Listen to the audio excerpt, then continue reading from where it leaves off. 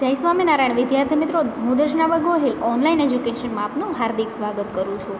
હવે આપણે ધોરણ અગિયાર કોમર્સ, એમાં એસપીસીસી વિષય છે, એમાં વિભાગ બે, એમાં યુનિટ બે, કંપની સેક્રેટરી, એનો અભ્યાસ શરૂ કરીએ. તો હવે આપણે પ્રસ્તાવનામાં ધ્યાન આપીએ કે બદલાતી જતી સામાજિક વ્યવસ્થામાં વાણિજ્યના સ્વરૂપે પણ કરવટ બદલી છે. એટલે કે જે સામાજિક વ્યવસ્થા બદલાતી જતી હોય છે, તો એમાં જે વાણિજ્ય વ્યવસ્થાનું સ્વરૂપ હોય છે, એટલે કે જે સામાજિક વ્યવસ્થા બદલાય છે, તો એ પ્રમાણે જે વાણિજ્ય સ્વરૂપ છે આખું એ પણ એની જે ટૂંકમાં કહેવાય ને કે કરવટ બદલી છે એમ. એમાં પણ ફેરફાર જોવા મળે છે. આમ, વર્તમાન સમયમાં સામાન્ય કંપની એટલે કે જે મોટી કંપની હોય છે, એની વાત કરી છે.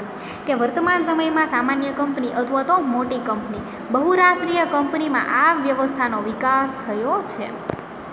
એટલે કે હાલના સમયમાં જોઈએ તો જે કંપનીઓ છે કે મોટી કંપની હોય છે ટૂંકમાં, કહેવાય ને કે બહુરાષ્ટ્રીય કંપનીઓ, તો એમાં એને જે ટૂંકમાં કહેવાય ને કે આ વ્યવસાયનો એમાં વિકાસ થયો છે. એના કારણે સેક્રેટરી વર્તમાન કંપની ધારા મુજબ એક જરૂરિયાત છે. એટલે કે હાલના કંપની ધારા મુજબ જોઈએ તો કંપની છે એ કહેવાય ને કે જરૂરી છે ખૂબ જ એમ એક જરૂરિયાત બની ગઈ છે એમ. કંપની સેક્રેટરી કંપનીના માળખામાં એક વિશિષ્ટ સંચાલકીય અધિકારી છે. હવે આપણે અગાઉ જોઈ ગયા કે કંપની સેક્રેટરી છે એ શું છે કે એને ખુદની પોતાની કોઈ સત્તા નથી હોતી. અને જે કાર્ય સોંપવામાં આવે સંચાલક મંડળ દ્વારા, એ બધા કાર્ય એ કરે છે અને કંપનીની બધી વહીવટી કામગીરી છે એ કંપની સેક્રેટરી કરતા હોય છે. અને આ જે છે બધી ટૂંકમાં કહેવાય ને કે સેક્રેટરી છે તો એક આમ વિશિષ્ટ સંચાલકીય વ્યક્તિ કારણ કે કંપનીનું છે સંચાલનને મોટા ભાગે કોણ કરે છે? કંપની સેક્રેટરી કરે છે. એટલે કે ખૂબ જ મહત્ત્વનું વ્યક્તિત્વ છે એનું એમ. એટલે કે એના જે લાયકા છે, એના ગુણ છે, એ ખરેખર જે હોવા જોઈએ એ કંપની સેક્રેટરીમાં જોવા મળે છે. અને કંપની સેક્રેટરી શું કરે કે બીજા બધી માહિતી છે મિટિંગો અરેન્જ કરે છે પત્ર વ્યવહાર કરે છે. એટલે કહી શકાય કે એક વિશિષ્ટ સંચાલકીય અધિકારી છે, કહી શકાય છે. જેણે કંપનીના જેણે કંપની ધારાનું પાલન કરી અને અસરકારક કાર્યદક્ષ વહીવટ કરવાનું છે. એટલે કે જેથી શું કરવાનું કે કંપની ધારા છે એનું પાલન કરવાનું હોય અને અસરકારક વહીવટ કરવાનું હોય, કાર્યદક્ષ વહીવટ કરવાનો. કારણ કે કંપની ધારાનું પાલન કરે અને જે આમ કહેવાય ને કે વહીવટ છે એ કેવો કાર્યદક્ષ હોવો જોઈએ, એમ અસરકારક હોવો જોઈએ. નવા કંપની ધારા બે હજાર તેર મુજબ સેક્રેટરીને ચાવીરૂપ સંચાલકીય વ્યક્તિ એટલે કે કે એમપી કી મેનેજરિયલ પર્સોનેલના દરજ્જો છે આપવામાં આવ્યો છે. એટલે કે ચાવીરૂપ સંચાલકીય વ્યક્તિ હોય છે જે કે એમપી કહી શકીએ ને આપણે કે કી મેનેજરિયલ પર્સોનેલ. તો એ જે વ્યક્તિ છે એટલે કે એનો દરજ્જો છે એને આપવામાં આવ્યો છે. આમ, કંપની ધારામાં આવી ચાવીરૂપ સંચાલકીય વ્યક્તિ એટલે કે કે એમપીમાં પાંચ વ્યક્તિઓનો સમાવેશ કરવામાં આવ્યો છે. એટલે કે કી મેનેજરિયલ પર્સોનેલની વાત કરી છે કે એમાં ટૂંકમાં કહેવાય ને કે જે કંપની ધારામાં જે ચાવીરૂપ પાંચ સંચાલકીય વ્યક્તિઓ હોય છે કે એમપી એ, એનો સમાવેશ થાય છે. એમાં કયા કયા કે એમપી હોઈ શકે છે? એમાં પહેલું, મેનેજિંગ ડિરેક્ટર અથવા તો મુખ્ય વહીવટી અધિકારી અથવા તો મેનેજર અથવા પૂર્ણ સમયના સંચાલક. તો આ રીતે જે કહેવાય ને કે એક તો મેનેજિંગ ડિરેક્ટર હોય છે, એનો પણ સમાવેશ થાય, અથવા તો જે મુખ્ય વહીવટી અધિકારી હોય છે, એનો પણ સમાવેશ અથવા તો મેનેજર અથવા તો પૂર્ણ સમયના સંચાલક. તો આમાંથી કોઈ પણનો સમાવેશ કરી શકાય છે. પછી બીજું કીધું છે કંપની સેક્રેટરી છે અને ત્રીજું મુખ્ય નાણાકીય અધિકારી. તો આવી રીતે જે વ્યક્તિઓ છે, એટલે કે કેએમપી છે, એનો સમાવેશ કરવામાં આવ્યો છે. હવે આપણે જોઈએ કે આમ કહી શકાય કે કંપની ધારા પ્રમાણે કંપની સેક્રેટરીને બીજા નંબરનું કેએમપી તરીકે સ્થાન મળ્યું છે. એટલે કે બીજા નંબરનું જે કી મેનેજરિયલ પર્સોનલ તરીકે જે કંપની ધારા પ્રમાણે કોને સ્થાન મળ્યું છે, સેક્રેટરીને મળ્યું છે. એટલે કે અહીંયા જોઈએ આપણે કે બીજો નંબર કોનો છે? કંપની સેક્રેટરીનો. હવે સેક્રેટરીના મુખ્ય ગુણ અને લાયકાતો.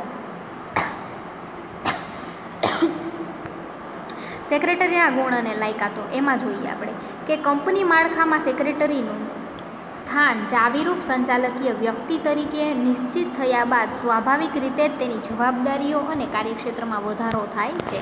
એટલે કે આપણે જોઈએ કે કંપની જે માળખું છે, તેમાં જે ચાવીરૂપ સંચાલકીય વ્યક્તિ જે એકોનું છે સેક્રેટરી તરીકેનું સ્થાન છે એમ, કે કી મેનેજરિયલ પર્સોનલ અથવા તો ચાવીરૂપ સંચાલકીય વ્યક્તિ આપણે એને કહીએ છીએ.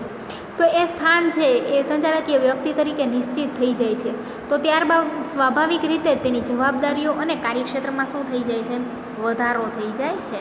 કારણ કે એની જે કહેવાય ને કે જવાબદારીઓ વધે એટલે કાર્યક્ષેત્ર વધવાનું જ છે. આમ, આ જવાબદારીનું યોગ્ય રીતે વહન કરી શકે તે માટે કંપની પાસે કંપની, તેની પાસે કંપની ધારા મુજબ અનિવાર્ય શૈક્ષણિક લાયકાત અને વધારાની લાયકાત જરૂર રહે છે. એટલે કે જે જવાબદારીઓ છે એનું યોગ્ય રીતે શું કરવું જોઈએ એને? વહન કરવું જોઈએ.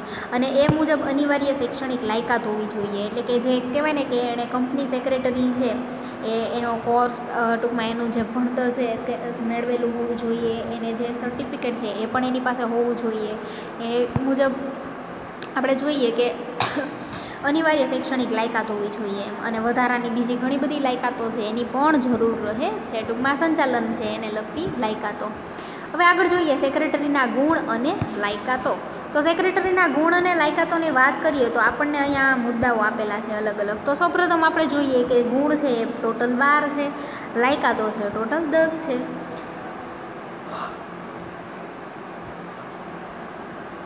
હવે ગુણ છે એમાં પેલું સુંદર સ્વાસ્થ્ય. તો ગુણ છે એમાં સુંદર સ્વાસ્થ્ય છે, બીજું પ્રામાણિકતા છે. આપણે ડિટેલમાં અભ્યાસ કરવાનો જ છે. ત્રીજું આકર્ષક વ્યક્તિત્વ, ચોથું છે તેજસ્વી બુદ્ધિ પ્રતિભા, પાંચમું નિર્ણય શક્તિ, છઠ્ઠું વિશ્લેષણ શક્તિ, સાતમું ઉત્સાહ, આઠમું વફાદારી, નવમું આત્મવિશ્વાસ, દસમું પુનેહ અને ચપળતા, અગિયારમું દીર્ઘદ્રષ્ટિ અને બારમું નેતાગીરી. લાયકાતો છે એમાં શૈક્ષણિક લાયકાત, હિસાબી વ્યવસ્થાનું જ્ઞાન કાર્યાલય સંચાલનનું જ્ઞાન, સભા સંચાલનનું જ્ઞાન, વિવિધ કાયદાઓનું જ્ઞાન, આર્થિક અને રાજકીય પ્રવાહોનું જ્ઞાન, સાંપ્રત સમસ્યાઓનું જ્ઞાન. આગળ જોઈએ તો અંગ્રેજી ભાષા પર પ્રભુત્વ અને અન્ય ભાષાઓનું જ્ઞાન, જનસંપર્કનું જ્ઞાન અને કમ્પ્યુટર્સ અને ઇલેક્ટ્રોનિક સાધનોનું જ્ઞાન. તો હવે વિગતવાર અભ્યાસ કરીએ. એમાં આપણને કીધું છે સેક્રેટરીના ગુણ. સેક્રેટરીના ગુણ છે નીચે મુજબ છે, તો આવી રીતે આપણને બાર ગુણ આપેલા છે ટોટલ એનો આપણે અભ્યાસ જોઈએ છીએ. સુંદર સ્વાસ્થ્ય. તો સુંદર સ્વાસ્થ્યની વાત કરીએ કે કંપની સેક્રેટરી મુખ્ય વહીવટી વડા હોવાના કારણે તેને વિવિધ તબક્કે અથાગ પરિશ્રમ કરવો પડે છે. એટલે કે જે કંપની સેક્રેટરી છે એ મુખ્ય વડા છે. એટલે એને કારણે એને ઘણા બધા અલગ અલગ તબક્કાઓમાં શું અથાગ પરિશ્રમ એટલે કે ઘણો બધો એવો પરિશ્રમ કરવો પડે છે એમ. અને અનિયમિતતાઓનો સામનો પણ કરવો પડે છે. એટલે કે કંપની સેક્રેટરી જે મુખ્ય વહીવટી વડા છે, એટલે કે મુખ્ય વહીવટી અધિકારી છે, અને એવા વિવિધ તબક્કાઓ હોય છે, એને કારણે શું એણે અથાગ પરિશ્રમ કરવો પડે. એટલે ઘણા બધા ટૂંકમાં કાર્ય કરે કે જેથી કરીને ઘણો બધો પરિશ્રમ છે એ કરતા જોવા મળે છે. આગળ વાત કરીએ કે આવા કઠિન કાર્યો આસાનીથી કરવા તેની પાસે સુંદર સ્વાસ્થ્ય હોવું જરૂરી છે. એટલે કે જે કાર્ય છે એ બધા કેવા તો કે જે કઠિન કાર્યો થતા હોય છે, કે જે આસાનીથી થતા હોય છે, એની પાસે શું સુંદર સ્વાસ્થ્ય જરૂરી છે. એટલે કે ઘણા બધા એવા કાર્યો છે કે જે આમ કહેવાય ને કે ઝડપથી નથી થતા એમ. તો જો એ ઝડપથી અને આસાનીથી કરી શકે તો એક તો એની પાસે સુંદર સ્વાસ્થ્ય હોવું જરૂરી છે. કારણ કે જો એ કહેવાય ને કે સુંદર સ્વાસ્થ્ય હોય તો એ કોઈ પણ કામગીરી કરી શકે. અને જો હેલ્થ જો સારી ન હોય તો એ કોઈ પણ કામ કરવા માટે સક્ષમ હોય નહીં.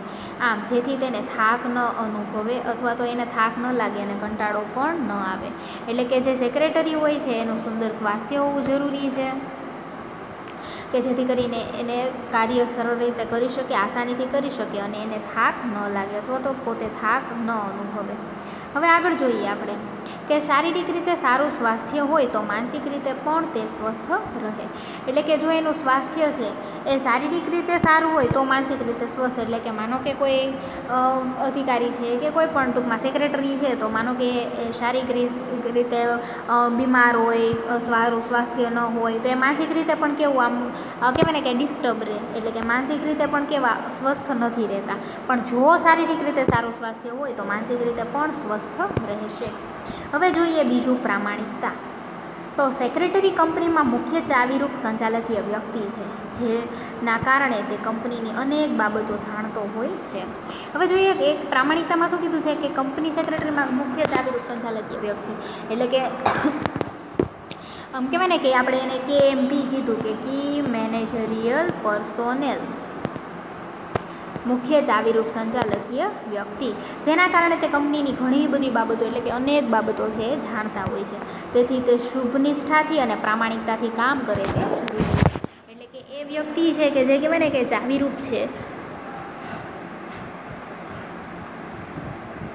અને એને કારણે ઘણી બધી બાબતો છે. એની કંપનીની ટૂંકમાં કહેવાય ને કે મોસ્ટલી બધી બાબતો એ જાણકાર હોય છે એથી. અને તેથી શુભ નિષ્ઠાથી અને પ્રામાણિકતાથી કામ કરે એ જરૂરી છે. ખૂબ જ જરૂરી છે એમ.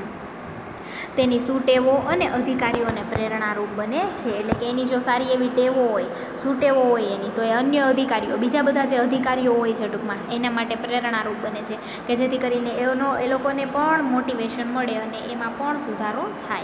અને જે પ્રામાણિકતા છે એ બધામાં જોવા મળે છે. કે જેથી કરીને બધા શુભ નિષ્ઠાથી અને પ્રામાણિકતાથી કામ કરતા હોય છે. આગળ જોઈએ આપણે. અને પોતે ચારિત્ર્યવાન બને છે. એટલે કે એ પોતે પ્રામાણિક હશે શુભ નિષ્ઠાથી કામ કરશે તો એ કાર્ય એનું બતાવવાનું છે. એટલે કે એની જે સુટેવો હોય છે કે જેથી કરીને પોતે ચારિત્ર્યવાન બને છે. અંગત હિતની જાળવણીના બદલે કંપનીના હિતની જાળવણી માટે તેનામાં પ્રામાણિકતા જરૂરી છે. એટલે કે એ અંગત હિત છે પોતાનું જ ફક્ત સ્વીકારે, પોતાનું જ ફક્ત, આમ કહેવાય ને કે વિચાર કરે, એની, એનું જે કહેવાય ને કે પોતાના સ્વાર્થ માટે અથવા તો એની જે કોઈ પણ કામગીરી હોય તો એનું અંગત હિત છે, એ જાળવવાને બદલે કંપનીના હિતની જાળવણી માટે પ્રામાણિકતા જરૂરી છે. આમ, આગળ જોઈએ ત્રીજું આકર્ષક વ્યક્તિત્વ.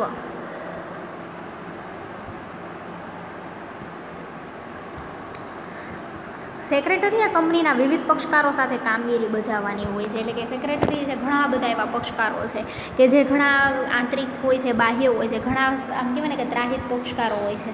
તો એ સાથે સેક્રેટરીએ ઘણી બધી કામગીરીઓ છે એ બજાવવાની હોય છે. તો હવે એ કામગીરીઓ છે એની વાત કરીએ આપણે કે બાહ્ય પક્ષકારો સાથે જોડાયેલા હોય, જેમ કે શેર હોલ્ડર ડિબેન્ચર હોલ્ડર સંચાલક મંડળ, સરકારી અધિકારીઓ કર્મચારીઓ, સામાન્ય પ્રજાજનો તો આ બધા સાથે કામગીરી કરવાની હોય છે. તો હવે આપણે જોઈએ કે ઘણા બધા ટૂંકમાં એમ કહેવાય ને કે કામગીરી બજાવવાની હોય કે અલગ અલગ પક્ષકારો સાથે કામગીરી. એમાં કયા કયા હોય છે? કે શેર હોલ્ડર હોય છે ડિબેન્ચર હોલ્ડર હોય, સંચાલક મંડળ હોય, સરકારી અધિકારીઓ હોય કર્મચારીઓ હોય અને સામાન્ય પ્રજાજનો. આના આપણે અર્થ જોઈ ગયા કે એ સાથે કામગીરી કરે તો સાથે સાથે એણે ઘણા બધા સરકારી વિભાગો છે બેન્કો છે અને અન્ય નિષ્ણાત વ્યક્તિઓ સાથે કામગીરી કરવાની હોય છે. ટૂંકમાં એનું જે વ્યક્તિત્વ છે આકર્ષક હોવું જોઈએ કારણ કે એ હોય તો એ બધા સાથે કામગીરી બજાવી શકે. નહીંતર એ ટૂંકમાં કહેવાય ને કે કંઈક ખામી રહી જાય છે એટલે કે અલગ અલગ સરકારી વિભાગો હોય બેન્કો હોય અને બીજા કોઈ નિષ્ણાત વ્યક્તિઓ હોય કે જે તે પાસેથી કંપની છે એની કહેવાય ને કે એડવાઇસ લેતી હોય છે એટલે કે એની જે પર્સનાલિટી વ્યક્તિત્વ છે કેવું આકર્ષક હોવું જોઈએ તે સાથે કામગીરી કરવાની હોય છે અને વ્યક્તિત્વ સામા પક્ષને પ્રભાવિત કરી શકે તેવું પ્રભાવશાળી અને આકર્ષક હોવું જોઈએ. એટલે કે એનું વ્યક્તિત્વ કેવું હોવું જોઈએ કે સામા પક્ષ હોય એને પ્રભાવિત કરી શકે એવું હોવું જોઈએ, કે આકર્ષક હોવું જોઈએ અને પ્રભાવશાળી આકર્ષક વ્યક્તિત્વ હોવું જોઈએ. આમ, હવે પછીનો મુદ્દો જોઈએ, તેજસ્વી બુદ્ધિ પ્રતિભા.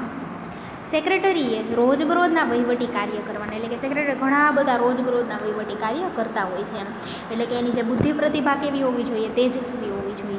કે સેક્રેટરીએ ધંધાકીય, આર્થિક, ધારાકીય અને નીતિ વિષયક ફરજ છે બજાવવાની હોય છે. એટલે કે સેક્રેટરી છે, એણે ઘણી બધી એવી, આમ કહેવાય ને કે નીતિ વિષયક ફરજો છે અદા કરવાની, બજાવવાની હોય છે એટલે કે સેક્રેટરી ઘણા બધા કાર્ય પણ કરવાના હોય છે અને આ ધંધાકીય, આર્થિક, ધારાકીય અને નીતિ વિષયક આવી ફરજો બજાવવાની. એટલે કે એકસાથે ઘણી બધી ફરજો બજાવવાની છે એટલે કે આ કાર્યો સરળતાથી થાય તે માટે તેનામાં તેજસ્વી બુદ્ધિ પ્રતિભા જરૂરી છે. એટલે કે આ કાર્યો છે સરળ રીતે થાય, સરળતાથી થાય. તો એ માટે શું? તો કે એની તેજસ્વી બુદ્ધિ પ્રતિભા હોવી જોઈએ કે જેથી કરીને એ બધા કાર્યો છે એમાં ફરજ બજાવી શકે. આગળ જોઈએ. નિર્ણય શક્તિ.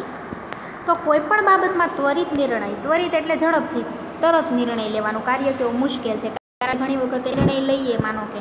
તો એ જે ઘણી વખત ખામી રહી જાય, કંઈક ભૂલથી નિર્ણય ખોટો લેવાઈ જાય, તો પણ ઘણું બધું કહેવાય ને કે નુકસાન જતું હોય છે એમ.